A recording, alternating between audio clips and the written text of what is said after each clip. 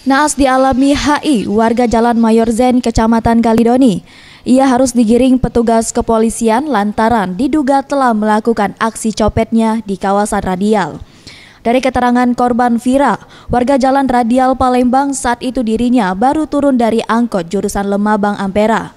Dengan sigap, pelaku langsung memepet korban dan mengambil telepon genggam milik korban yang berada di dalam tas.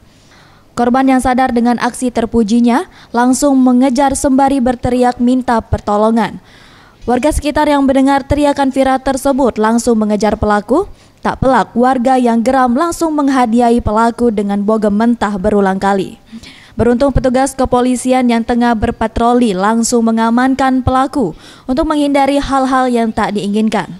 Sedangkan telepon genggam korban tak dapat diselamatkan lantaran dibawa rekan pelaku yang telah menunggu di lokasi yang sama. Guna proses hukum lebih lanjut, pihak kepolisian Sat PJR Dirlantas Polda Sumsel akan menyerahkan pelaku ke Polsek Ilir Barat 1 Palembang.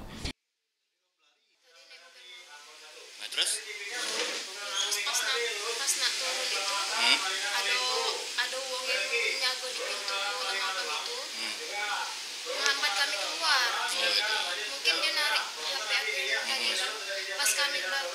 baru sadar HP tidak dikantik lagi dia. Oh jadi sempat kamu kejar? Iya sempat sama rombongan gojek yang di depan. Tim Liputan Sriwijaya TV